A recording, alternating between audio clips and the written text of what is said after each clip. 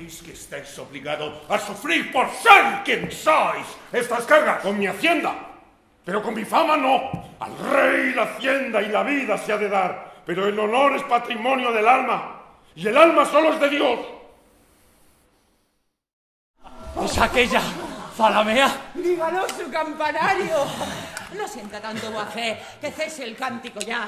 Mil ocasiones habrá para escucharme, porque esto me divierte tanto, que como de otras no ignoran, yo a cada cosica lloran, yo a cada cosica canto.